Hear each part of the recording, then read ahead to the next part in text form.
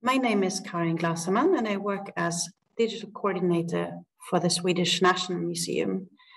The National Museum is uh, the Swedish Museum of Art and Design, and we have a collection of over 600,000 pieces of art.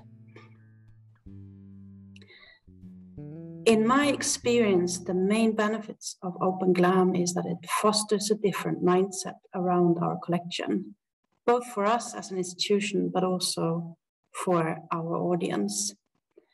I think we need to understand that the collections that we hold are there to be used. And the good thing about digital is that they can be used without taking any harm. I think the collections become alive when they are used by other people than just the institution themselves.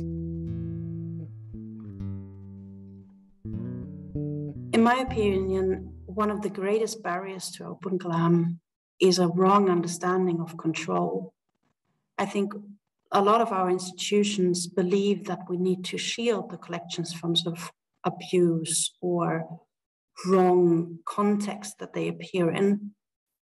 But I think we need to understand that if we want the collections to be part of every people's life, we need to understand that we cannot keep them under control.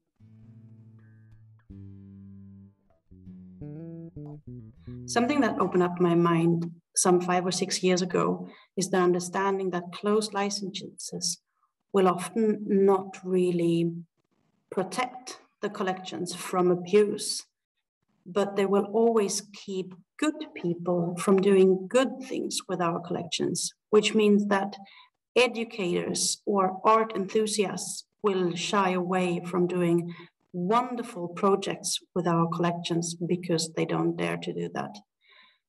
So opening up the collection is the only way to ensure that not only we get to work with our collections, but that a lot of people understand that this is actually our common cultural heritage and it's there to be used by everyone. Mm-hmm.